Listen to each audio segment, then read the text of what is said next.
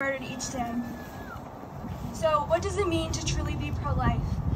According to the Medline Plus Genetics, a clump of cells is the basic building blocks of all living things. The human body is composed of trillions of cells. They provide structure for the body, take in nutrients from food, convert those nutrients into energy, and carry out specialized functions. If a baby was just identified as a clump of cells, there wouldn't be baby showers, gender reveals, nor pregnancy announcements.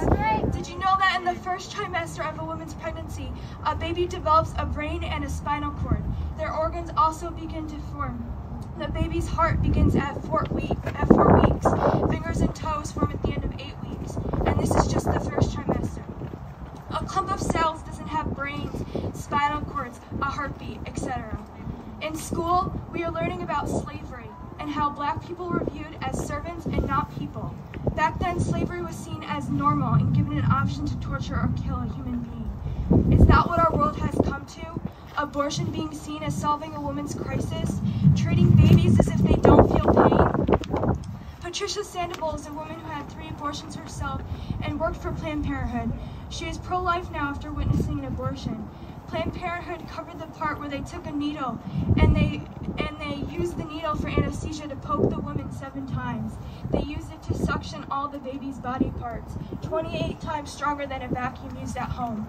Rough to hear, right? Yes. No one wants to hear how their child died from an abortion, how there is about 125,000 abortions per day. The last most popular argument I would like to address is rape or dying from pregnancy. If there was ever a case where a woman could die from childbirth, there are so many monitors and blood tests that help prevent this. There is also always an option for an emergency C-section. Abortion actually causes more risks. If the abortionist doesn't remove all of the baby, then the mother could die.